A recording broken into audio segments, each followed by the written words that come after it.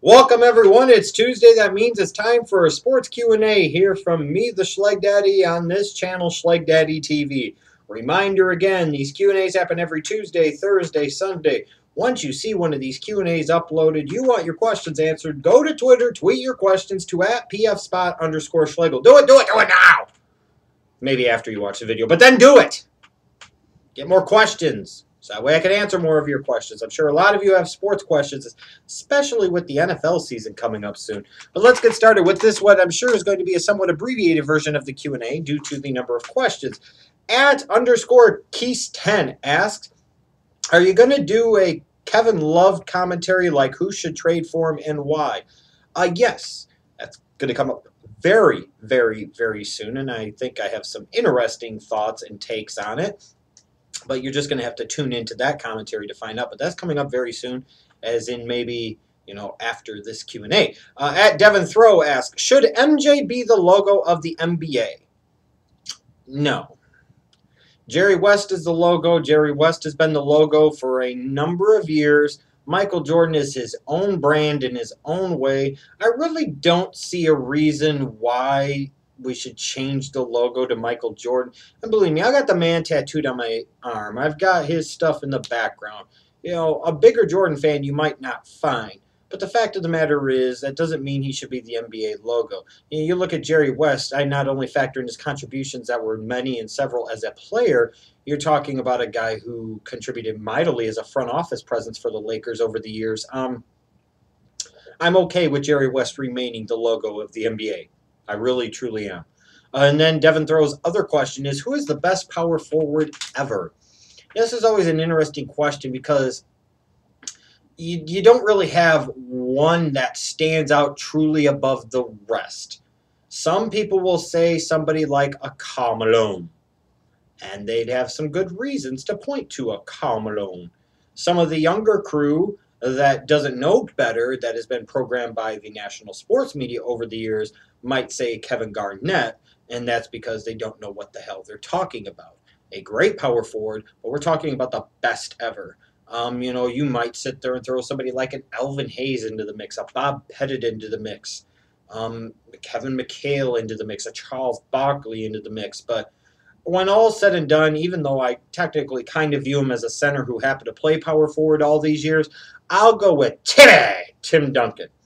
Here's a guy that's now won five NBA championships. Here's a guy that's played big at big time moments, something that Barkley and Malone and Garnett, frankly, primarily failed to do throughout their careers.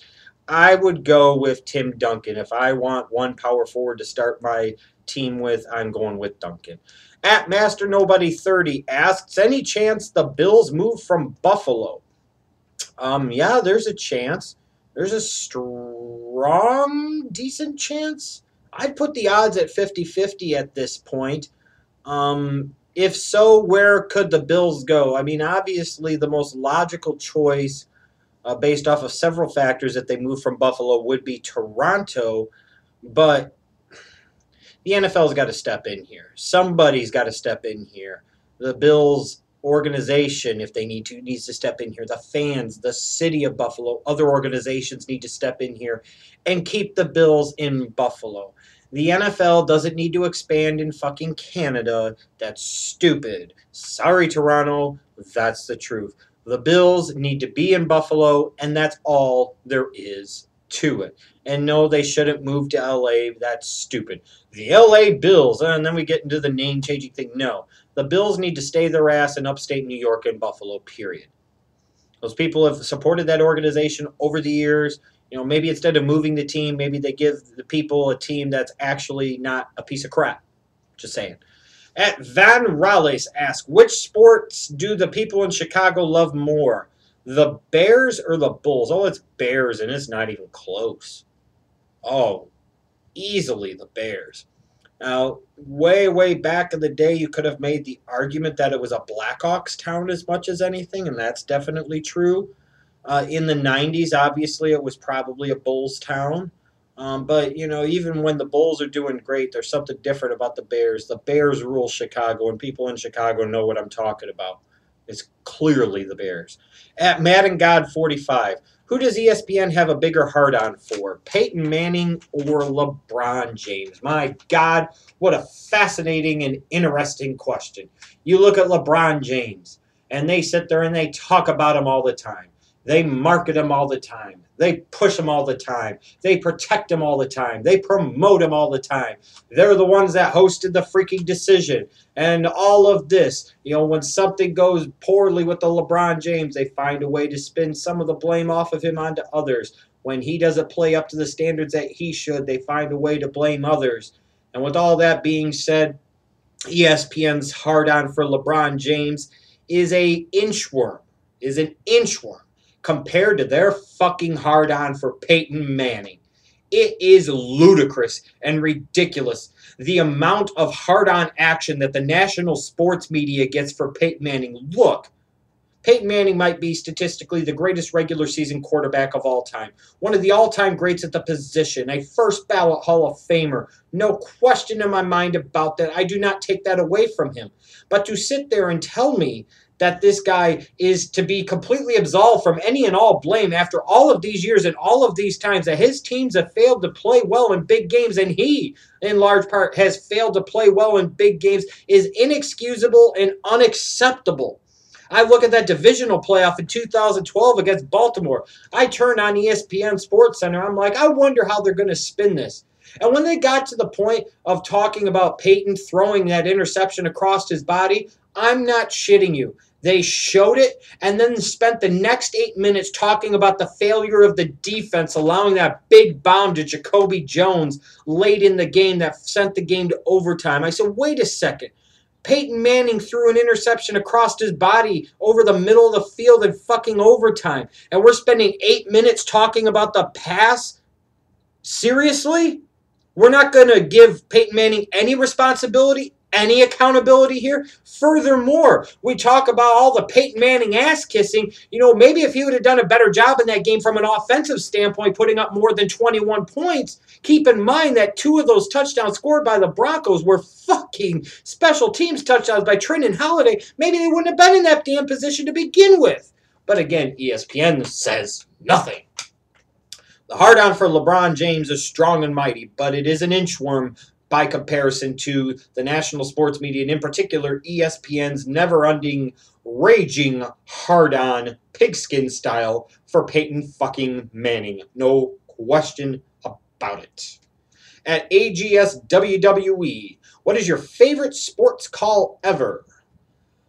Oh, favorite sports call ever. Um, hmm. I could say 17 seconds. 17 seconds from game number seven or championship number six. Jordan, open, Chicago with the lead. Michael Jordan running on fumes with 45 points. That would be Bob Costas in reference to Michael Jordan's last shot in Game 6 of the 1998 NBA Finals. That would be one. Uh, do you believe in miracles? Yes you know, the um, semifinal game of U.S. versus USSR in the 1980 Winter Olympics would have to be another favorite call of mine. Um, those would be two. There are a lot of other great sports calls all over the years. Uh, Joe Carter, Game Six of '93. Touch them all, Joe. You'll never hit a bigger home run in your life. You know, some of those calls that come to mind. Um, but yeah, probably a Jordan based one. and Anthony Fana. Oh, excuse me. AGS WWE has another question. When do the Eagles, when do you see the Eagles, excuse me, becoming Super Bowl contenders? And what moves do they have to make to be that? Um, they need to get better and more depth on the defensive end. And I think it's at least another year before they're legit Super Bowl contenders. At least another year. Anthony Fana asked, Do you think baseball's unwritten rules are stupid? I feel like all it does is make baseball more boring than it already is. I will tell you this their unwritten rules are crap. Their unwritten rules are stupid. Maybe, and this is for all the people involved with Major League Baseball the players, the umpires, the coaches, everybody involved. Maybe the reason they're fucking unwritten is because they need to be unwritten because they're stupid. One of the pillars of the stupidity of the unwritten rules in baseball. Oh, what the hell was it? Years back, it was Bob Brenly bitching about the fact that Curt Schilling had a no hitter, and I think it was Padres catcher Ben Davis. It might have been him. Freaking bunted in the eighth inning of a two to nothing game.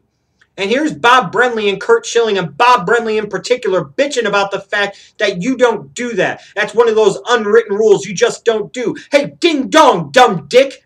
If that guy gets on first base after bunting, which he did, then that means a home run ties the fucking game. And as Herm Edwards so eloquently put it, you play to win the game. You stupid fucks all this shit of you don't celebrate with the home run. And if he hits your guy, then you throw behind him or you throw him high and tight or you hit him. Ah, oh, fucking A. Just play the goddamn game. You know, for all the pitchers and uh, managers that get upset about a guy celebrating after he hits a big home run, how about don't serve up the fucking meatball that he takes yard on your ass? If you sit there and get pissed off and upset about a guy bunting, to break up a no hitter, you know what? You never freaking know. I don't care if the game is nine to nothing. You never know. You play to win the game. You're expecting teams to just sit there and roll over for you because you got a no hitter or a perfect game going. That's bullshit of the highest order.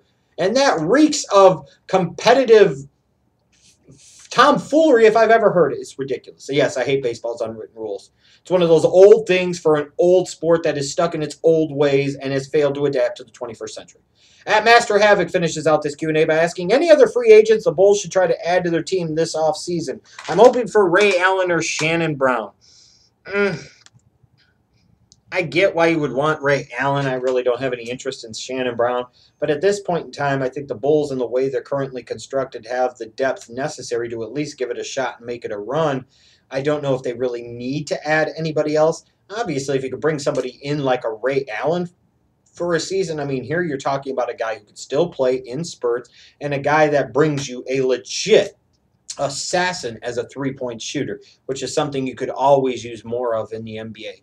So if they did bring Ray Allen, I'm most certainly not going to bitch. But if the Bulls really don't bring anybody else in via free agency or via trade, I'm not going to bitch. I like their offseason and I like the team that they have constructed heading into the 2014-2015 season. Thanks to all of you guys that submitted your questions for this Q&A. Remember, they happen every Tuesday, Thursday, and Sunday want your sports questions answered, go to Twitter, tweet your questions to at pfspot underscore Schlegel. I'll see you then.